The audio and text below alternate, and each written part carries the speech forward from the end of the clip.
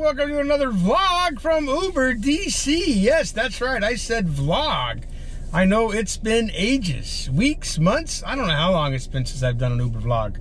But anyhow, I was watching the Rideshare Professor today, and he did a uh, about a one-hour show on. Uh, I'm sure you guys have all heard about the driver in Maryland who got killed, uh, the passenger who got killed, and the person who uh, murdered them uh, said he was on drugs, PCP or whatever he was on, doesn't matter.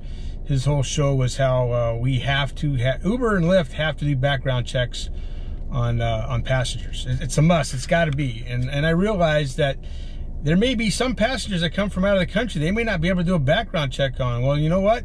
Don't give them a freaking, um, don't give them an account. Now, if they set their accounts in four countries, uh, Uber World or whatever their office is called should be able to do a background check on them if they're from other countries. So I, I take back my previous statement. They should be able to do a background check on anybody. And uh, it's for driver safety too. Also, uh, Uber Pool and Express Pool. Um, no more picking up second passengers. I don't. I think I've picked up maybe two or three second passengers in, in four plus years of driving this stuff. Um, and if you don't know the way to get out of it, because um, I know right now it's like, as soon as you get a ping, uh, you don't have time to read, see what the passenger's rating is or anything. It goes right to accept the ride. So what I've been doing lately, and I'll try to show you again today if it happens, is I go in and I select accepted ride by mistake and cancel it. Screw your ratings, people. Safety first. Uh, they're not going to deactivate you if uh, your rating uh, drops down. You're going to have to have more than that. Plus, uh, as a rideshare professor said, if they deactivate you for not accepting rides, uh, I think you're going to have a case. You're just going to need a good lawyer. And uh, I'm sure there's plenty out there who would love to go after uh, Uber and Lyft. So anyhow, let's go find some passengers. Hopefully they're all taking Uber X.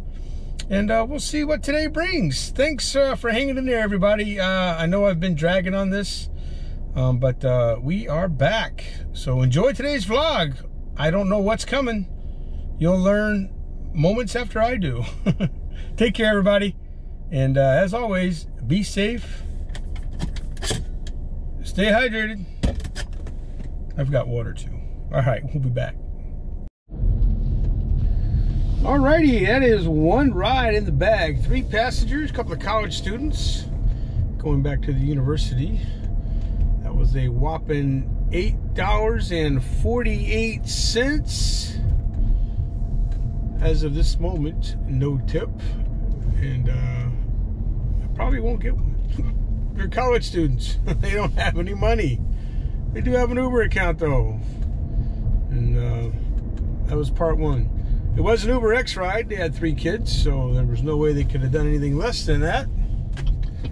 Alrighty, let's go find uh, somebody else. We'll be right back. Alrighty, that was another ride, and that was Uber X. Uber X indeed. Hey, just to touch right back on the Uber pool thing, you know you guys are going to accept the rides, that's fine. But what you should start doing is not accepting the second rides turn your app off after you get that first ride. And when you get close to dropping that person off, then you can turn it back on. But uh, we got to do something to strike back at Uber and Lyft. And I, I think this is going to be the best way. If we can get all the drivers to start doing this. Oh, perfect timing. And that is a Uber X. Good, another Uber X drive ride. Um, but yeah, you know, and everybody, we all want to make money, so you want to take every ride. But we've got to. The only way we're going to be able to do something is to get them to stop doing Uber Pool. Was for us to stop picking up Uber Pool, or stop picking up those second and third rides. You know, it's up to uh, it's up to us to make it happen. Um, just like I said, safety first. They could care less about our safety. It's proven. Background checks are definitely the way to go. That's not going to be 100%, but that's definitely going to uh, capture a lot of bad people out there. It's not going to get them all. They're always going to slip through the cracks. But let's do the best we can. Alrighty, I got to go pick up my customer. And uh, we're not filming anybody today. So stay tuned, everybody. We'll be back. Alrighty, that was John, and that was an airport run. Now we're going to test this theory that if you take a passenger to the airport, you're supposed to get bumped up into the queue and uh, hopefully get a receiving ride or a leaving ride. Departing? Departing ride? Something like that. We're testing that theory right now, and so far, nothing. It just wants me to go to the lot. And there is no way in hell I am going to go to the airport waiting lot. Uh, it doesn't tell me how many cars are in the queue, but this is a busy time. They should be moving pretty quick. Um, anyhow, we shall see. We'll be back. That's uh, three rides. And it hasn't quite totaled up my other ride yet. But uh, should be should be about uh, should be averaging about eleven dollars a ride. No tips yet. Damn it. So, uh, but I just dropped off John, so he probably hasn't been able to check his phone because he's trying to check in. Alrighty, we'll be back, everybody. Hang tight. You're watching Uber DC. That's right, we're vlogging today. We're vlogging. We'll be right back. Alrighty, that was another airport ride, which is great. Cyrus, uh, nice guy. Uh, he was going to Atlanta also. So uh, my last two rides to the airport have been guys going back home to Atlanta, the surrounding area, which uh, you guys may or may not know or remember. I used to live down in Atlanta, Lithia Springs area. I wasn't an Uber driver back then, but um, I lived down there just for a short time. And uh, all right, so uh, we're once again telling me to go to the waiting lot. So I'm guessing the bullshit about um, getting a quick turnaround, dropping people off is, uh, is a bunch of bullshit. Because uh, it's packed, as you guys know, because I was just here minutes ago reporting, vlogging back to you. All right, let's go find another uh, passenger. Hopefully they're coming right back to the airport. I'm liking these uh, short eight, nine dollar runs. Not bad, not bad. Uh, no tips yet, but um, I'm still ho holding out hope that we'll get a couple. All right, we'll be back, everybody. You know, back on the uh, Uber pool and the um, background checks and all that, and I don't know if I said this already. I guess I'll know when I go to edit this video. But uh, I realize it's not 100%. But Uber and Lyft, when they first started out, and they weren't doing Uber pool and Express pool and whatever Lyft does, I don't drive Lyft anymore. We were doing fine. They were doing fine. Everybody was making money. Everybody was happy. Um, a lot of cities still to this day don't have Uber pool and Express pool. So I don't know if it's uh, some kind of a city ordinance or what the deal is. But if uh, if any city out there can go without it, why can't all of the cities go without it? Obviously, Uber's still making money. Let's let's get on the program here. You guys are just you know bad publicity after bad publicity. It always involves a driver getting his ass kicked, or in this recent case, getting killed. He wasn't even killed; he was murdered. Um, I know it's still killed, but uh, he was murdered. It wasn't an accident at all. A guy plugged a couple of bullets in him and uh, other passenger. Uh, there is no uh, safety involved from Uber or Lyft at all.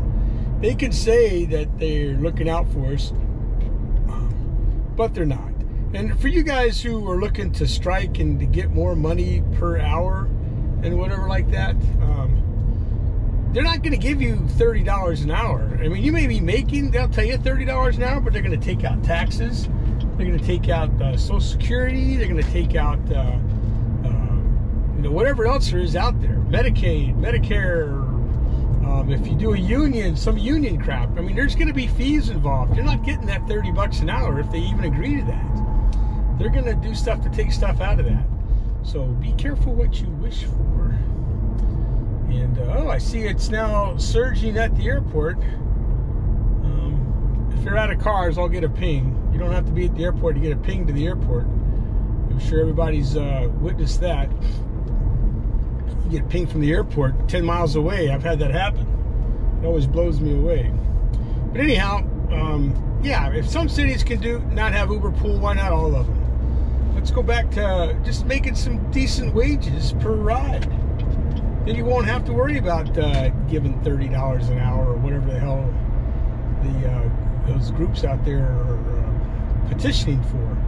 Let's do background checks on uh, the passengers as well as the drivers. And I don't even know how well they're doing on the drivers. I've seen some drivers out there. I don't know how the hell Uber gave them uh, permits to drive. Uh, they don't check out the cars. You know, go do an inspection of the driver and the car. Like every six months, have them pull into one of the Uber uh, hubs and get checked out. I mean, come on. You want to preach safety? There's step one. Make sure the car and the driver match, and the car's in decent shape.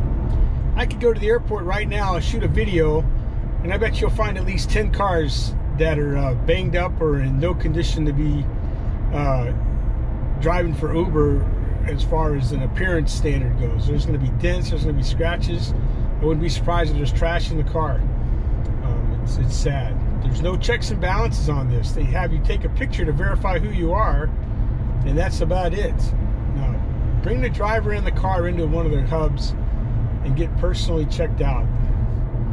That's sad. That was one of the things that Lyft did when I first started. When I was driving Lyft, I had to go in and meet with a real person, eye to eye. They came out, checked out my car, uh, checked me out. Um, now I didn't drive around the block, but some people have driven around the block with them to make sure that they, uh, I guess that they can drive. I don't know.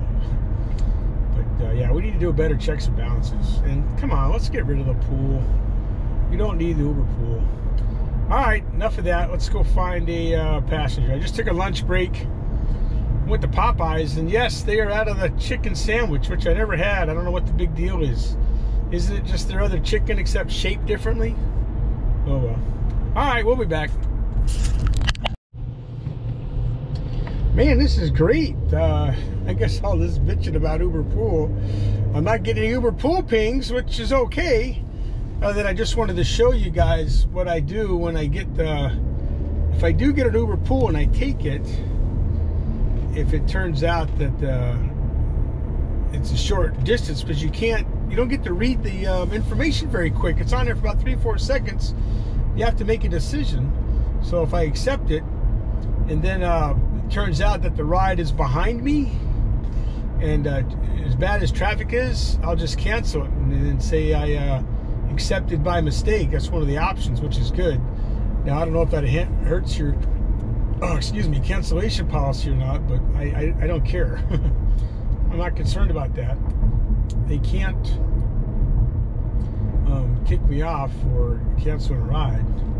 And uh, you could always say you know safety. So anyhow, um, so no Uber pool rides yet today. I've had all Uber X's, which is good. Um, not making as much money as I wanted, but a lot of those uh, short rides to the airport um, weren't very profitable. And uh, still no tips. So I'm over tips so far on the app. But that could change. Like I said, a couple guys I took to the airport, uh, once they get there and they ping for a car, uh, maybe I'll get one. Who knows? Alrighty, we'll be back. We're just babbling. Alrighty, ladies and gentlemen. I think that's going to be a wrap for today. Don't want to overdo it. After all, I haven't vlogged in a while, but um, I think I was more of more griping, maybe. Griping? I don't know. Uh, I think I've always had something to say about Uber Pool and Express Pool since it came came into existence.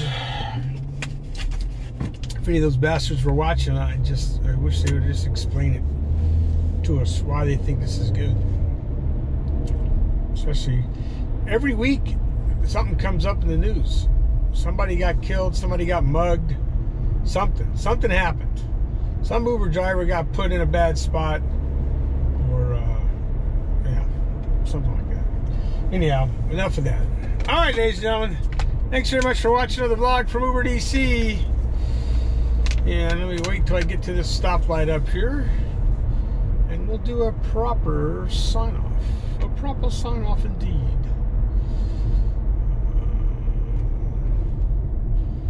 Uh, yeah, just a few more episodes of uh, Tip Jar Tuesday. I'll be gone most of all of October, so probably won't have much going on unless you want to watch me on my PJ Slots and Entertainment channel. The link is down below.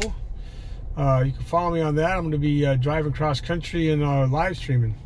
Alrighty, so with that, everybody, as always, please be safe, stay hydrated, and with that, ladies and gentlemen, I am out of here. Good night.